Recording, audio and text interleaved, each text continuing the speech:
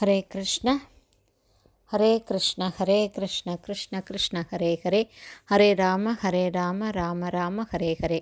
ஹரே கிருஷ்ணா நாம் காப்பியங்களில் மிகவும் சிறந்ததும் பவித்திரமானதுமான வால்மீகி முனிவர் எழுதின ராமகாவியத்தை ஒவ்வொரு அத்தியாயமாகவும் சுருக்கமாகவும் பார்த்துட்ருக்கோம். இந்த மிகச்சிறந்த இதிகாச காவியமான ராமகாவியம் மிகவும் புனிதத்தன்மை வாய்ந்ததால் பக்தியோடு இதை படிப்பவங்க கேட்பவங்களை தூய்மைப்படுத்தி பிறப்பு இறப்புங்கிற சம்சார சாகரத்திலிருந்து விடுவிச்சு பகவானுடைய தாமரை திருப்பாதங்களை அடைய உதவி செய்யும் என்பதில் சந்தேகமே இல்லை. ஜெய் ஸ்ரீராம் ஜெய் சீதாராம்.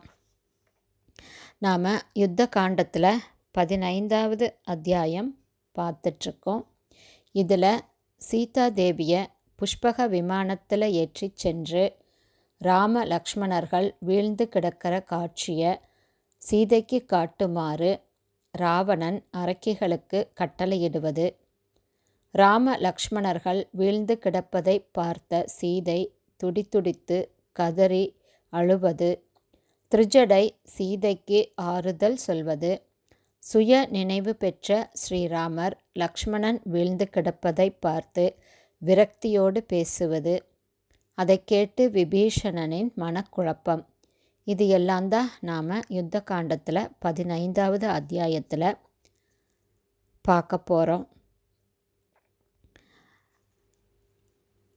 ஸ்ரீராமரையும் லக்ஷ்மணனையும் தன்னுடைய மாயா யுத்தத்தில் வீழ்த்தின இந்திரஜித் ராமனும் லக்ஷ்மணனும் இறந்து விட்டார்கள்னு ராவணன்கிட்ட சொல்லும்போது அதை கேட்டு எல்லையில்லாத மகிழ்ச்சி அடைந்த ராவணன் சீதையை காவல் காத்து நின்ன அரக்கிகளை அழைத்து ராமனும் லக்ஷ்மணனும் யுத்தகலத்தில் வீழ்ந்து கிடக்கிற காட்சியை சீதைக்கு உடனே காட்ட சொல்லி உத்தரவிடும்போது புஷ்பக விமானத்தில் திரிஜடையையும் சீதையையும் அமர செய்து யுத்த களத்துக்கு கூட்டிக்கிட்டு வந்து ஸ்ரீராமரும் லக்ஷ்மணனும் தரையில் இரத்த வெள்ளத்தில் விழுந்து கிடக்கிற காட்சியை அரக்கிகள் காட்டும்போது அதை பார்த்த சீதாதேவி துடி துடிச்சு பதறி கண்ணீர் விட்டு கதறி ஓன்னு அலறாங்க. மனம் பதறி துடி துடிச்சு அழுதுகிட்டே சீதாதேவி புலம்ப தொடங்குறாங்க.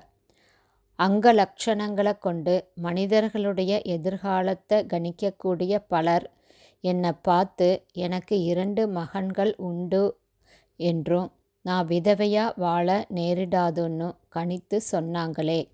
அவங்க சொன்னது எல்லாமே இப்போ பொய்யாக போயாச்சு. நான் பட்ட மகிழ்ச்சியாவேன்னு ஆரூடம் சொன்னவங்க இன்னைக்கு பொய் சொன்னவங்களா ஆனாங்க.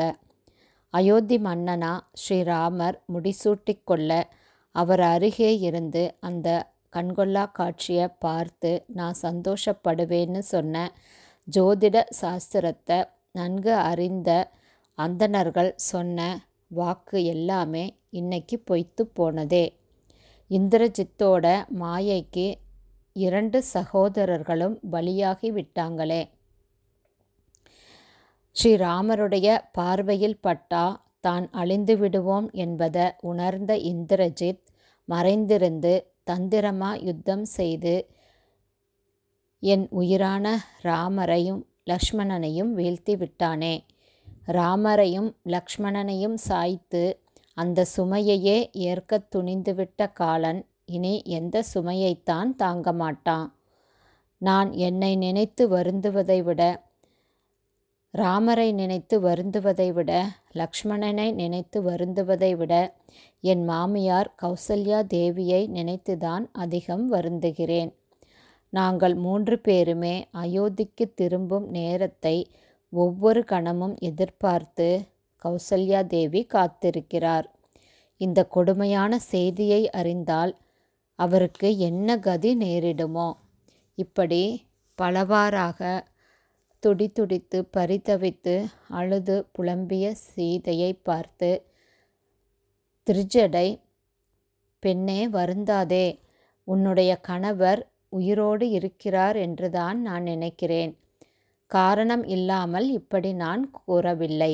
தங்களுடைய தலைவன் போரில் கொல்லப்பட்டால் அப்போது போர் வீரர்கள் கோபத்தினால் உடனே பீடிக்கப்பட்டு விடுவதில்லை.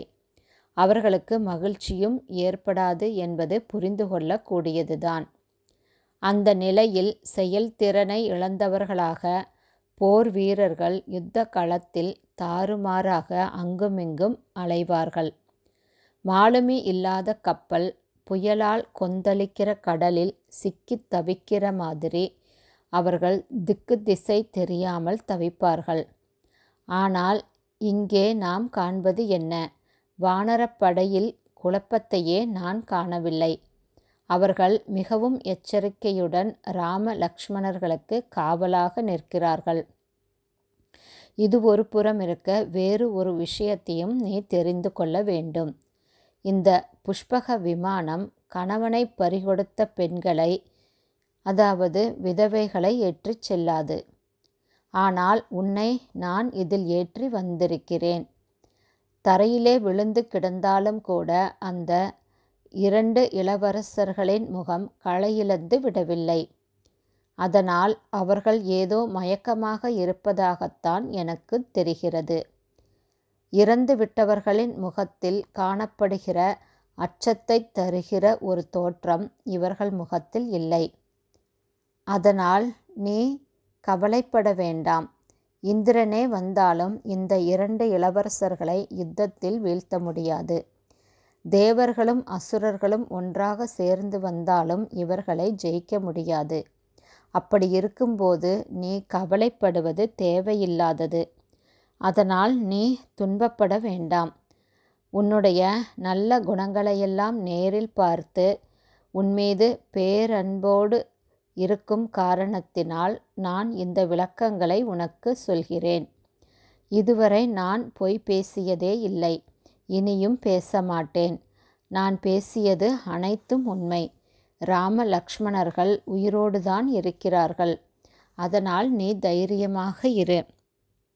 இப்படி சீதாதேவி சீதாதேவிக்கு திருஜடை தைரியம் கூறியபோது சீதை இரண்டு கைகளையும் குவித்தவாறு திருஜடையை பார்த்து நீ சொல்வது போல அப்படியே நடக்கட்டும் என பரிதாபமாக கூறுகிறாள்.